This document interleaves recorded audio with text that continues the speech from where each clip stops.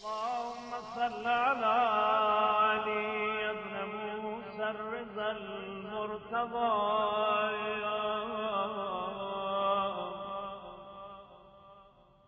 الإمام التقي النبي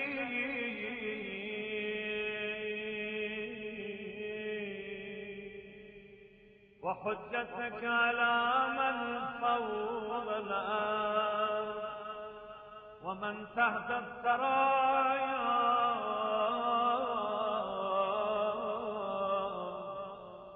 الصديق الشهيد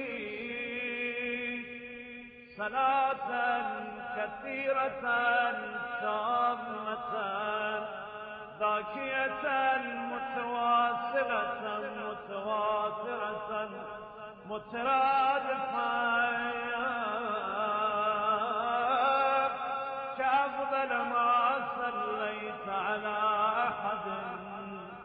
من أوليائك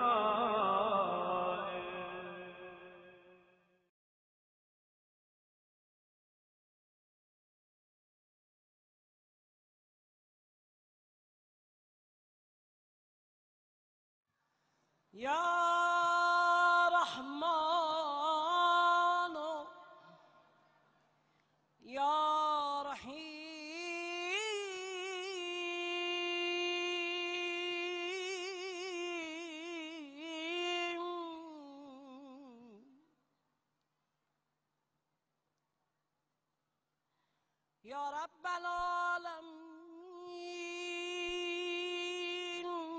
بگذار شبی.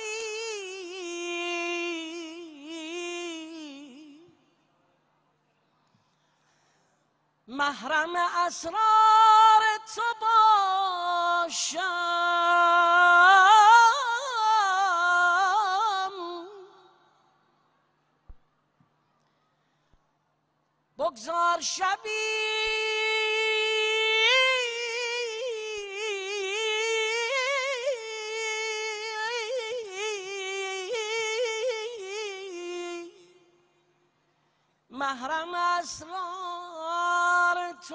باشم. در پرده جان راز نگه داره تو باشم. یا ابن الزهرا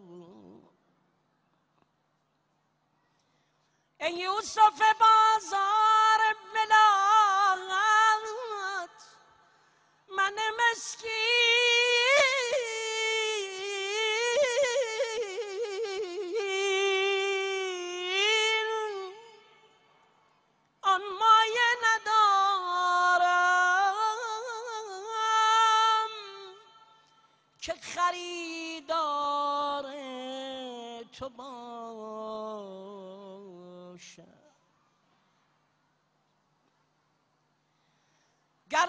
خلوت وصل تو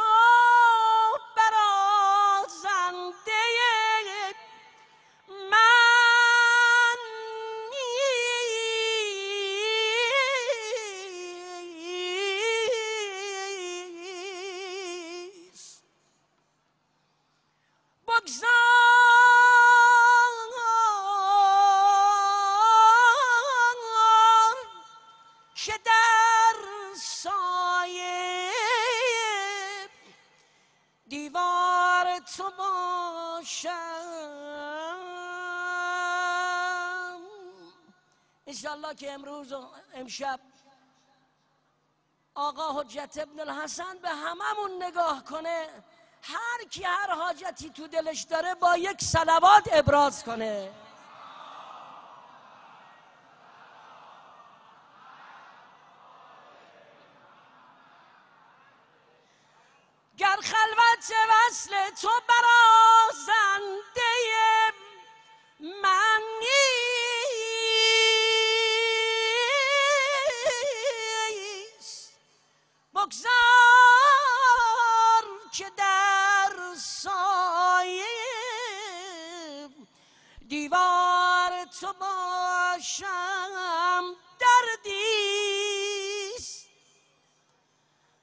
دردیست مرا از تو و بهبود نجویم.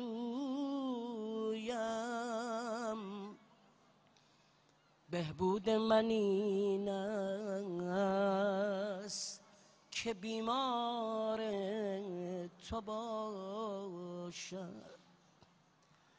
هر که امشب تو را نگاه کند ماه را با تو اشتباه کند. روز و شب را نمی‌دهد. تشخیص. هر که یک لحظه ات نگاه کند. یبنت زهرا ایمن از آفت جهنم باد. هر که در سایت پناه کند باز می‌خوانم این ترانه مگر.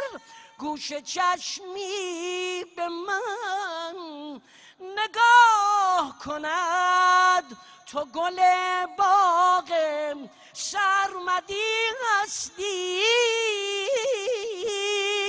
تو گلاب محمدی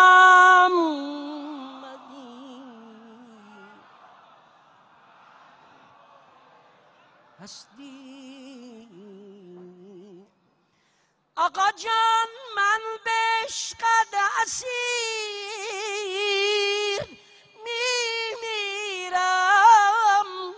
پیش پایت حقیر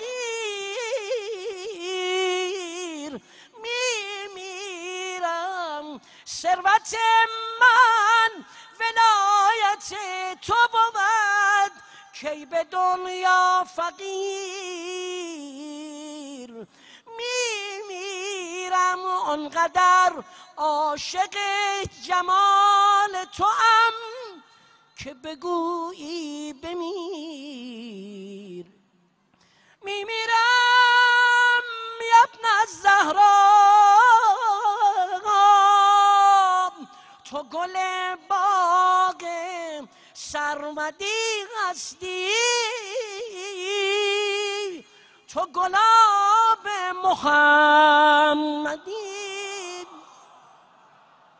هستی. انشالله که امام رضا هنوز از این مکان مقدس بیرون نشدی ایدی امشب و به هممون عنایت کنه یک کربلا و یک بقی. هر چقدر برا حرم گم شده مادرش زهرا دل تنگ شده هر کی صدای منو میشنوه و می‌خواد ابراز احساسات کنه برای آمدن حجت ابن الحسن همه با هم صلوات محمدی ختم کنن. اعوذ بالله السمیع العلیم من الشیطان اللعین الرجیم بسم الله الرحمن الرحیم الحمد لله من اول الدنیا الى فنائها و من الاخرت الى بقائها. الحمد لله على كل نعمه و استغفر الله من كل ذنب و اتوب الیه و هو ارحم الراحمین الحمد لله الذي نور قلوبنا بشعاشع انوار جماله ثم الصلاة والسلام على العبد المعید الرسول المسدد المحمود الاحمد المصطفى العمجد حبیب الهنا و طبیب قلوبنا و شفیع ذنوبنا سیدنا و مولانا ابوالقاسم المصطفى محمد.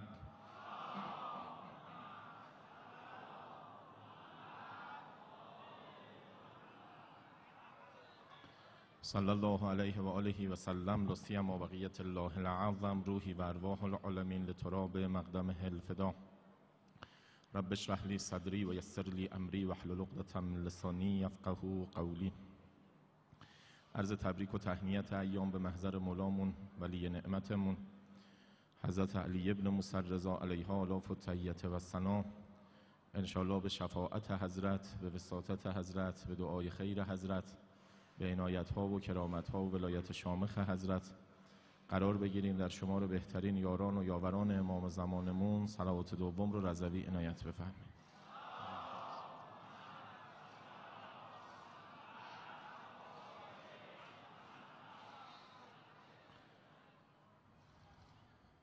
قال الله الحکیم فی کتابه الکریم یا ایها الذین آمنوا من یرتد منکم عن دینه فسوف یعت الله بقوم یحبهم و یحبونه. أذلة على المؤمنين أعزة على الكافرين يجاهدون في سبيل الله ولا يخافون لومة لائم. در میان بیش از 460 آیه‌ای که موسوم هست به آیات المهدی در قرآن این آخرین نسخه شفابخش آسمانی آیه 54 سوره ماعده جایگاه بسیار ویژه‌ای داره چون که به بیان پنج ویژگی اساسی و بنیادین انصار المهدی و یاوران امام اسروی فدا می‌پردازه. اولین ویژگی رو یحبهم و یحبونه معرفی می‌کنه. اینها سلوکشون بندگیشون عاشقانه است عارفانه است و بارقه عشق الهی توی وجودشون آتشی به جانشون انداخته که در مسیر بندگی خداوند رحمان از همه چیز عبور می‌کنن پشت پا می‌زنن و عشق هم می‌کنن عشق بازی می‌کنن با خدای خودشون. خداوند عاشق اونها شده دوستدار و خریدار اونها شده خاطرخواهشون شده و اونها هم خاطرخواه خدا هستند این قله فاخریه که هر انسانی باید به این قله برسه به جایی که با تمام وجود حس بکنه لبخند رضایت خداوند بدرقه راهشه و بزم عشق و عاشقی برپا شده. ویژگی دوم ازلت علی المؤمنین. بی تکبر خاضع متواضع در مقابل اهل ایمان ابتداعا در مقابل طلایه‌داران ایمان پیامبران اوصیا امامان. اعزت علی الکافرین ویژگی سوم عزتمند و مقتدر و شکست ناپذیر در مقابل کافران. ویژگی چهارم و پنجم شاهد مثال ماست و موضوع اصلی سخن ما یجاهدون فی سبیل الله اهل جهاد خالصانه در راه خدا در تمام عرصه ها نه فقط عرصه جهاد اصغر که جهاد رزمی و نظامی است در تمام عرصه ها جهاد علمی، جهاد فرهنگی، جهاد تربیتی، جهاد اقتصادی، جهاد اکبر، جهاد با نفس، جهاد با شیطان مدیریتشون جهادی است. ولا یخافون لومت لائم از سرزنش ای سرزنش کننده ای در این راه نمی ترسن نمی حراسن خمی به ابرو نمیارن مجاهدان بی امان بی حراس. برترین ویژگی انصار المهدی و یاوران حضرت ویژگی که در رفتارشون دیده میشه همین مدیریت جهادی است. اونم مدیریت جهادی خالصانه فی سبیل الله بی حراس. ولا یخافون لومت لائم. این برترین ویژگی رفتاریه. فرمودن در شعن این آیه و مصادیق آیه تعویل آیه فرمودن در شعن امام زمان ارواح و نافدام. و یاران شیدایی او در آخر الزمان در جای دیگری فرمودن در شعن سلمان و همتباران ایرانی او در آخر الزمان فرمودن در شعن اصحاب المهدی همه اینها قابل جمعه ابتدا هم فرمودن مصداق تام و تمامش خود امام زمان روحی فداست. مدیریت حضرت مدیریت جهادیه. زیارتنامه ای رو دارن مولامون علی ابن مسرزا علیها آلاف و تیت و سنا به عنوان هدیه آجانمون امام رضا علیها آلاف و تیت و سنا باشه. محضر دلدادگان امام زمان که توفیق پیدا کردن شب و روز نیمه شعبان رو در حرم متحر رضوی در محضر امام الرؤوف علی ابن مسرزا علیها آلاف و تیت و سنا توفیق عرض ادب داشته باشن. به اون صحابیان و یاران ویژه و خاصشون مثل یونس ابن عبدالرحمن که جزء هشت صحابی و یاران پابرجا و ثابت قدم امام رضا علیه آلاف و تیت و سنا بودن دستور می‌دادن که با این دعا و زیارت امام زمانتون رو حضرت مهدی موعود حضرت وقیت الله الاعظم ارواح و نافدار رو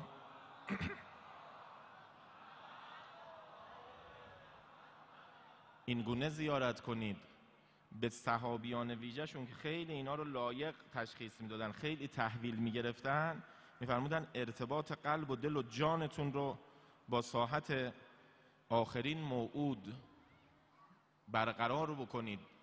یاران خودشون رو مهدی باور مهدی یاور مهدی محب عاشق امام زمان بار می آوردن زیارتی است که دعایی است که جناب محدث قمی بین دعای عهد و زیارت جامعه کبیره میاره در مفاتیح الجنان. آدرسش به محض اینکه دعای عهد تمام میشه این دعا آغاز میشه.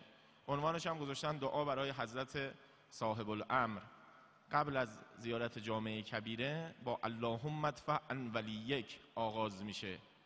میفرمودن به این صحابیان ویژهشون که مداومت داشته باشید بر این دعا و زیارت امام زمان ارواح و نافدا.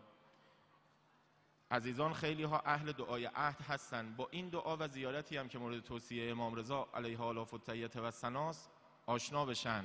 این هر چی ما ارتباط محبتیمون رو با ساحت امام از ارواح و نافدا بیشتر کنیم در پرتو این زیارت ها و این دعاها سمرش نزدیکی به اون مقام یحبهم و یحبونه هست.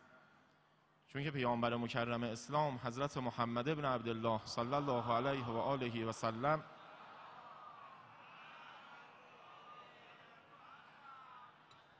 میفرمایند در شب معراج انوار چهارده نور پاک نور خودشون رو و نور اهل بیت اسمت و تهارتشون رو مشاهده کردن.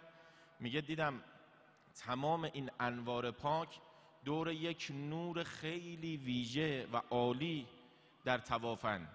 میگه از پروردگارم پرسیدم که این نور نور میانی نور کیست؟ خداوند معرفی کرد. این نور فرزند تو نواده تو آخرین حجت آخرین خلیفه و جانشین من در روی زمین رو نور حضرت بقیت الله الاعظم روحی و ارواحنا له الفدا هست. و بعد فرمودن یا محمد صلی الله علیه و آله و سلم.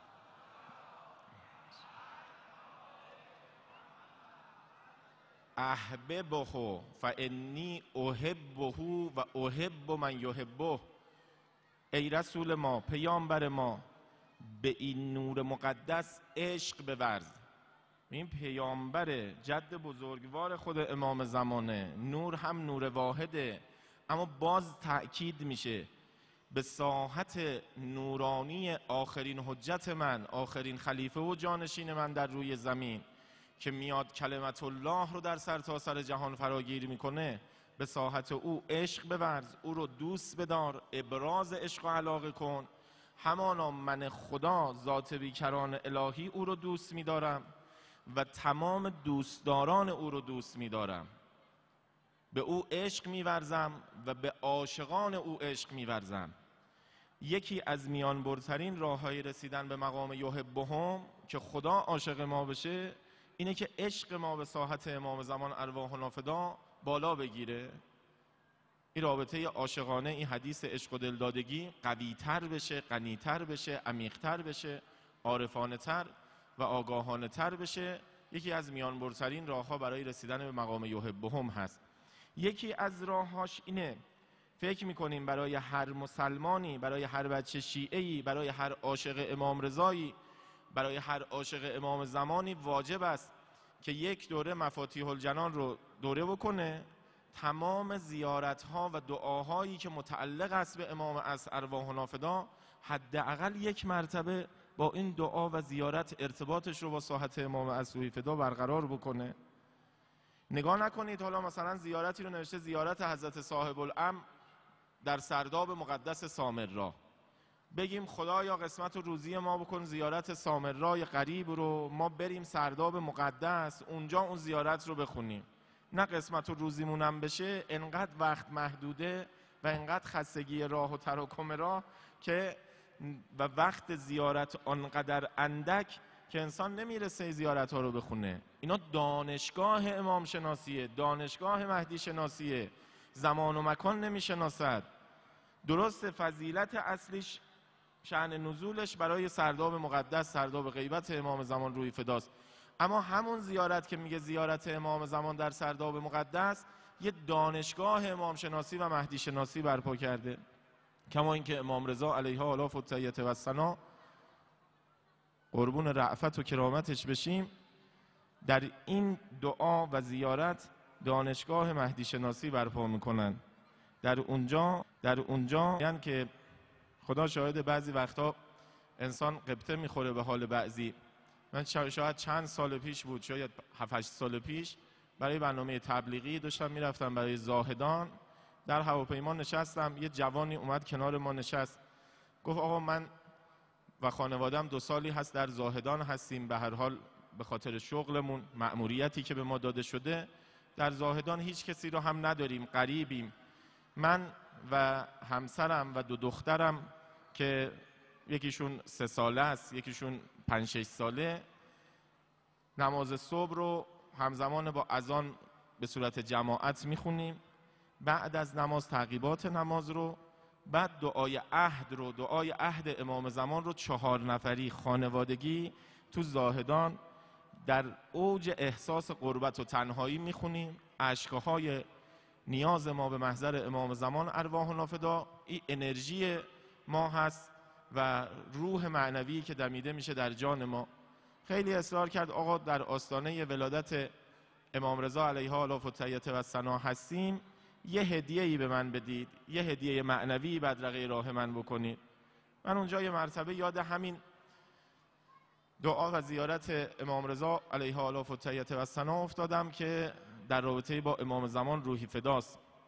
گفتم بین دعای عهد و زیارت جامعه کبیره در مفاتی الجنان محدث قمی امام رضا علیه السلام یه توصیه ای دارن. اونم به شیعیان ویژه و یاران ویژه شون فرمودن ارتباطتون رو اینطوری با ساحت امام عصر ارواح نافدا برقرار بکنید.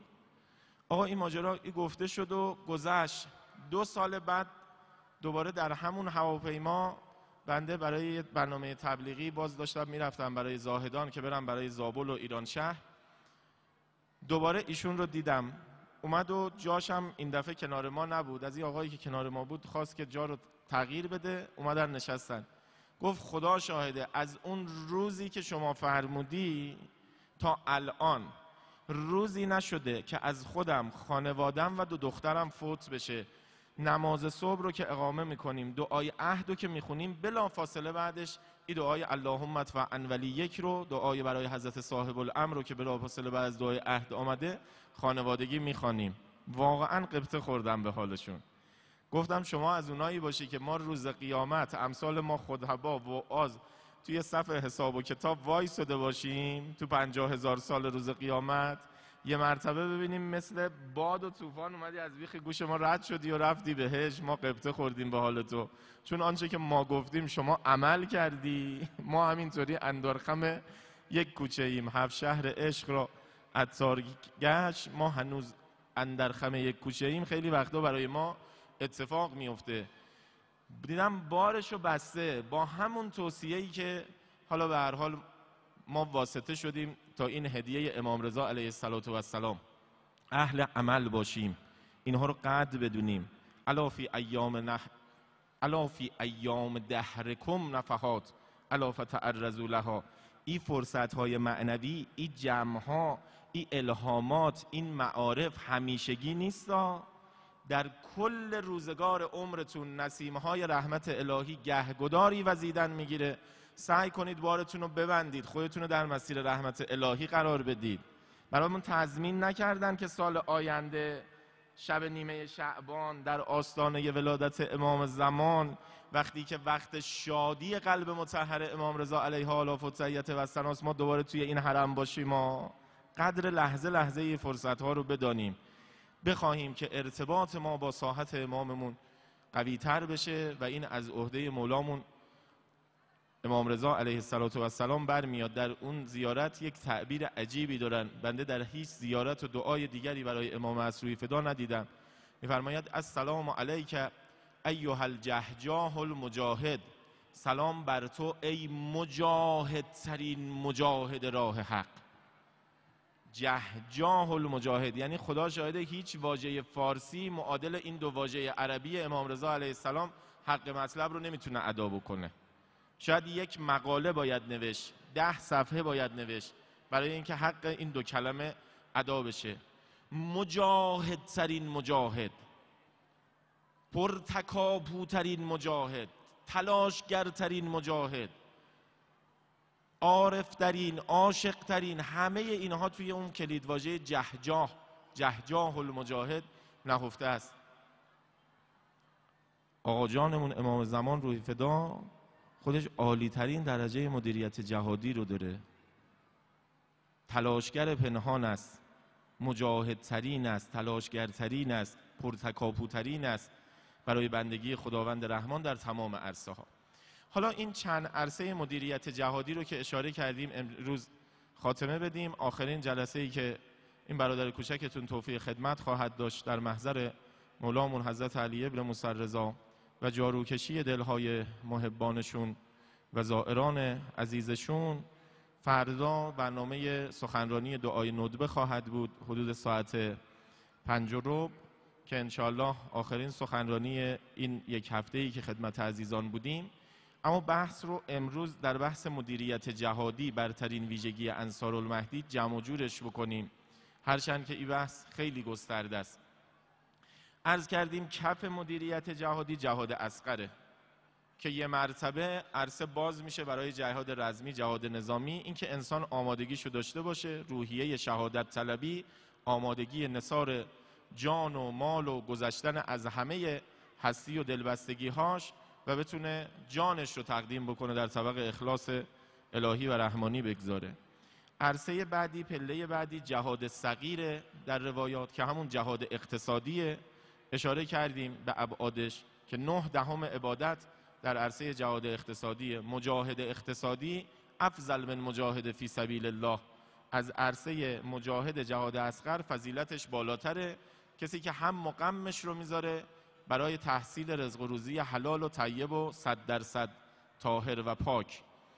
میاییم یه مرتبه بالاتر جهاد کبیره جهاد فرهنگی است جهاد تربیتی است تمام پیامبران الهی و خوبان عالم یک رسالت فرهنگی و تربیتی رو روی دوش خودشون احساس می‌کردن. ما خواه ناخواه این رسالت فرهنگی و تربیتی رو هم نسبت به خودمون داریم هم نسبت به خانوادهمون هم نسبت به فرزندانمون. سلمان که مصداق این آیه معرفی کردن پیشتاز عرصه های جهاد علمی و معرفتی است. هشت سال تمام در محضر اوسیاء حضرت عیسی مسیح میره شاگردی می‌کنه. خضوع و خشوع نشون میده. زانوی ادب می‌زنه تا معارف دین رو معارف آسمانی رو یاد بگیره. اینه که اون هشت سال تلاش بی امان تو او گاهی در شام گاهی در موسل گاهی در اموریه گاهی در بیت المقدس گاهی در مدینه و بعد پرورشش در محضر پیامبر او رو به جایی میرسونه که میگن عالم لا یدرک. یک عالمی است که ابعاد علمی او درک نمیشه. میگن عالم علم اولین و آخرین است. عالم به کتاب اول و آخر است. در رابطه با سلمان که این جهاد علمی او جهاد معرفتی او جهاد فرهنگی و تربیتی او رو میرسونه. پیامبر فرمود انا سابق العرب من پیشتاز قوم و امت عرب هستم در عرصه های علمی معرفتی و ایمانی و سلمان سابق الفرس و سلمان پیشتاز فارس زبانان و ایران زمینیان هست در پیشتازی به سوی ایمان و طلایه‌داری عرفان و معرفت خداوند تبارک و تعالی. در این عرصه هر کدام از یاوران امام زمان رسالت فرهنگی دارن رسالت علمی دارن رسالت تربیتی دارن. یکی از این اصلی ترین عرصه ها در عرصه تربیت خانوادگی است. در عرصه تربیت فرزنده گاهی عرصه های جهادی رو ما فقط ویژه مردان ترسیم می‌کنیم در صورتی که در روایات پیامبر و آل پیامبر برای زنان هم عرصه های جهادی تعیین میشه. حضرت فرمودن جهاد المرأت حسن و تبعول جهاد زن همسرداری نیکوی اوست. این حسن و تبعول تمام وظایفی که یک بانوی مسلمان در چهار دیواری خانه و خانواده داره در بر می‌گیره. حالا در عرصه همسرداریش در عرصه خانداریش در عرصه فرزندآوری و فرزند پروریش در عرصه تربیت فرزند رسالت فرهنگی و تربیتی که بر دوش بانوان جامعه اسلامی هست یک نقش بسیار بیبدیله. الان عرصه که دشمنان امام زمان امیدوار شدن گزینه نظامی و حمله به ایران اسلامی رو میگن بذارید برای سی سال بعد. چیزی که الان مطرحه. چرا؟ برای اینکه سی سال آینده با این روند کاهش جمعیتی که متاسفانه فرهنگ شده در بسیاری از خانواده های ایرانی با شعار فرزند کمتر زندگی بهتر و دیگه از دو فرزند بالاتر رو اصلا به خیالشون تصورشون راه نمیدن. میگه سی سال آینده سیمای ایران اسلامی یک سیمای میانسال و کهنسال خواهد شد. سیمای جوان نخواهد داشت. جمعیت جوانش به حداقل خواهد رسید. اون موقع وقت حمله نظامی به ایران اسلامی است. شیاطین و نمایندگان ارشد شیطان توی جامعه انسانی امیدوار شدن به کاهش جمعیت شیعه در ایران اسلامی. خب اینجا یه مدیریت جهادی می‌خواد یه یا الله می‌خواد یه یا علی می‌خواد یا جاهدون فی سبیل الله. بله سخت اقتصادشون تربیتشون مواظبت از انحرافات و آسیبهای شیطانی که هست. اما با مدیریت جهادی انسان باید بیاد به عرصه قربتا الله در عرصه فرزندآوری و فرزندپروری. در عرصه ازدواج به هنگام جوانان همه وظیفه دارن. همه باید قیام بکنن همه باید تلاش بکنن همه باید مدد بکنن جوانان رو و نسل جوان رو. و در این عرصه عرصه ای هست که بانوان ما پیشتازن می‌تونن فرهنگ سازی بکنن. این فرهنگ غلطی که حاکم شده بانوان باید طلای دار باشن برای شکستنش. هر کدام از این فرزندان و نوزادانی که پا به دنیا می‌گذارن هر کدامشون یک مصطفی چمرانه یک دکتر مصطفی چمرانه یک دکتر مصطفی احمدی روشنه یک دکتر حاج حسن تهرانی مقدم پدر علوم موشکی ایرانه. هر کدام از اینها باید بیان در جایگاه خودشون بالاترین خدمت و جانفشانیشون رو در آستان ولایت و امامت نشون بدن. استعداد ایرانی برگزیده شده. نسل سلمان نسلی است که مورد عنایت و امید پیامبر و آل پیامبر برای زمین سازی ظهور امام زمان روحی فدا. با دست خودمون بستیم. راه رو بستیم.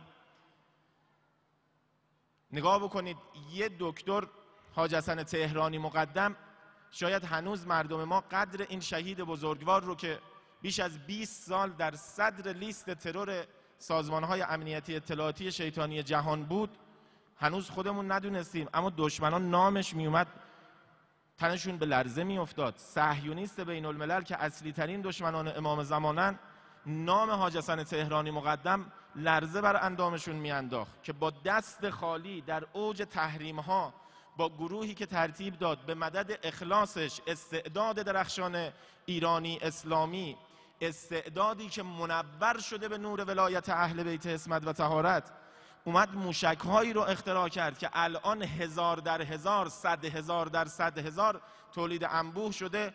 قلب دشمنان امام زمان رو هدف قرار داده که اون موقع است که نائب الامام و حجت الامام ما در, در همین حرم متحر در جوار حضرت علی ابن مسرزا علیه آلاف و تحییت و سنا با یک صلابت و قاطعیت حسینی میاد در مقابل تمام دشمنان امام زمان. قد علم می‌کنه سینه سپر می‌کنه فریاد می‌زنه آمریکا بداند. سگ نگهبان او در منطقه رژیم صهیونیستی بداند که کوچکترین چشم طمعی به ایران اسلامی داشته باشه. چنان ضربه ای رو در همون ساعت اول خواهد دید که از درون متلاشی خواهد شد. حیفا و تلاویو در ساعت اول آغاز جنگ اسرائیل با ایران متلاشی خواهد شد. این به برکت چیه؟ به برکت یک جوان ایرانی تربیت شده در مکتب علوی و در مکتب فاطمی. یه تهرانی مقدم. هر کدام از این نوزادها یه دکتر مصطفی چمرانن یه دکتر حاج حسن تهرانی مقدمن. یه دکتر مصطفی احمدی روشن دانشمند شهید هسته ایمون هستن. اینها رو ما باید اینگونه پرورش بدیم اینگونه به درد امام زمان بخورن. شهید تهرانی مقدم سه روز قبل از شهادتش در جمع دانشمندان علوم موشکی گفت بر روی قبرم بنویسید که این مرد می‌خواست اسرائیل را از صحنه روزگار محو کند. در دلنوشتش و قسمتی از وسیعتنامش می نویسه پیش به سوی ابرقدرت سازی ایران اسلامی. ایران ابرقدرت بلا منازع جهان شود تا زمینه برای ظهور امام زمان روحی فدا فراهم شود. این نگاه رو الان نیاز داریم. این نیروهای رحمانی رو نیاز داریم. در نهضت فرزندآوری و فرزند پروری بانوان فاطمی کجایند؟ رادمردان علوی کجایند؟ باید کادر سازی بشه برای امام زمان روحی فدا؟ نیرو سازی بشه سلمان پروری بشه چمران پروری بشه. اینه که مدیریت جهادی می‌خواد نگاه جهادی می‌خواد. انسان بیاد با توکل بر خداوند رحمان و توسل به اهل بیت اسمت و تهارت بیاد به میدان در تمام عرصه ها یکی از زیر شاخه های جهاد فرهنگی و جهاد تربیتی است نهضت فرزندآوری و فرزند پروری که خیلی باید جدی گرفته بشه. نائب الامام و حجت الامام ما میفرماید که ایران اسلامی باید بشه ایران 150 میلیون نفری. هم استعدادش رو داره هم ظرفیتش رو داره هم توانمندیهاش رو داره و اساسا الان در علوم استراتژیک جمعیت بالاترین نماد قدرته چین برای چی حرف اول رو می‌زنه در قدرت در جهان؟ نه به خاطر فقط اقتصادش. و اقتصادش رو هم وامدار جمعیت پرتلاشی است که تنبلی و کسالت رو کنار گذاشتن اومدن به عرصه در فرهنگ کار تلاش یک جمعیت عظیم. اینه که کسی نمی‌تونه اصلا در مقابل چین قد علم بکنه. یک میلیارد و خورده جمعیت نماد اصلی قدرت جمعیت میفرماید در روز قیامت پیامبر مکرم اسلام میفرماید بر کسرت جمعیت شما امت اسلام من مباهات می‌کنم و افتخار می‌کنم بر امتهای دیگه و بر پیامبران گذشته. باعث افتخار پیامبر باشیم باعث افتخار اسلام و دین و آینمون باشیم. بله دغدغه تربیتشون رو داریم دغدغه اقتصادشون رو داریم. همش با توکل بر خداوند رحمان. مگر قرار ما روزی اونا رو برسونیم؟ واسطه روزی رسانی هستیم. هر کسی رزق مقدر خودش رو داره. امور تربیتیشون رو هم اهل بیت اسمت و تهارت تمام سازوکارها رو فرمودن. من لقمه حلال بیار سر سفره زن و بچه.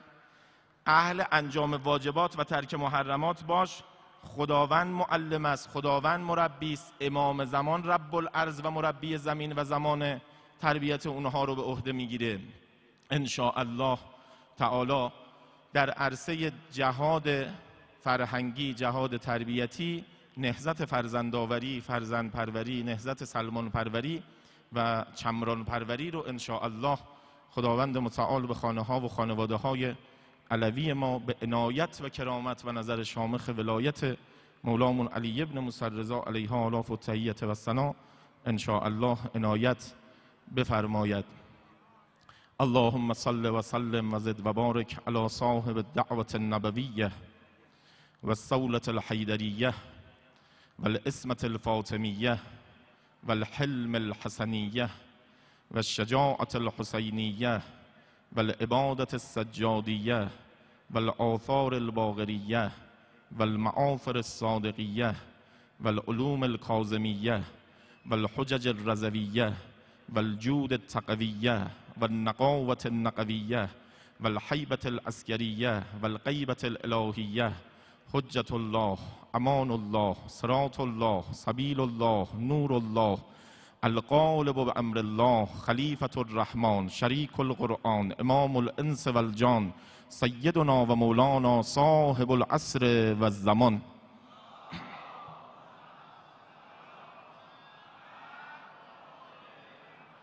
عجل الله تعالی فرجه و سحل الله مخرجه. و جعلنا الله من خیر انصاره و اعوانه و خدامه و اولیائه و المستشهدین بین یدیه. خدایا به حرمت مولامون علی ابن مسرزا در ظهور امام زمانمون تعجیل بفرما. امسال رو سال آخرین غیبتش و انتظارش قرار بده. خدایا ما رو در شمار بهترین یاران و یاوران و صحابیان امام زمانمون مقدر بفرما. توفیق مهدی یاوری مهدی باوری مهدی ولایی و مهدی لقایی مهدی زیستی به همه ما عنایت بفرما. به خانواده های ما توفیق فرزندآوری فرزند پروری سلمان پروری و چمران پروری عنایت بفرما. خدایا بالاترین نقش ها رو در برپایی دولت کریمه مهدوی به ما و خانواده های ما عنایت بفرما. توفیق معرفتش رضایتش زیارتش خدمتگذاری خالصانه به ساحتش بهره از هدایت ها و تربیت های مهدویش بهره از اخلاق و اخلاصش شهادت پای رکابش روزی ما و همه مشتاقانش بگردان. لحظه ای و کمتر از لحظه ای در دنیا و آخرت ما رو از آستان عشق و محبت و ولایت مهدی فاطمه جدا مگردان. ما رو در شمار بهترین سپاهیان و صحابیان و انصارش توفیق بهترین خدمت ها در سایسار مدیریت جهادی در تمام حرسه ها عنایت بفرما. رهبر فرزانه و عزیزمون علمدار امام زمانمون روز به روز بر عزتش اقتدارش صلابتش استقامتش عافیت و سلامتش بیافزای خدایا لحظه ای و کمتر از لحظه ای ما رو به جریان های انحرافی جریان های شیطانی فتنه های آخر الزمانی واگذار مفرما. به زودی زود تمام قلب های مشتاق زائر حج بیت الله الحرام زائر عتبات عالیات به عنایت مولامون علی ابن موسی رضا بگردان.